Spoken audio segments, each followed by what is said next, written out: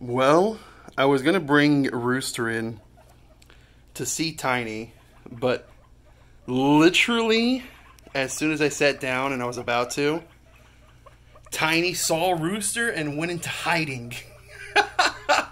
I don't know what the deal is with that, but Rowdy Rudy Rooster Boy, looks like Tiny doesn't like you. Now she's hiding in the hay. I don't know if you can hear it or not, but she's she's complaining over there. So I'll put Rooster in. What do you think, Rooster? You're going into the tiny house. Okay. Rowdy Rudy Rooster. Booster. Tiny. Tiny.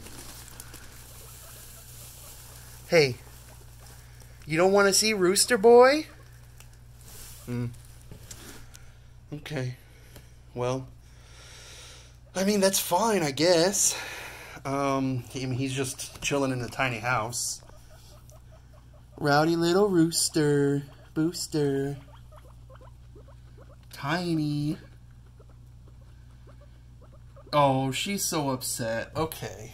Alright.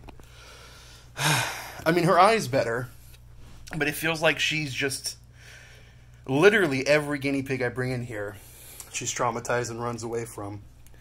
Even like Truffles and Luna. I don't I don't know what's wrong. She doesn't want to be with any other pig right now. So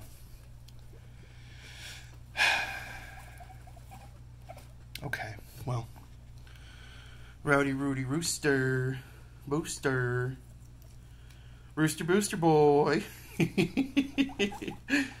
You're looking cute in that little house, Rooster Booster boy.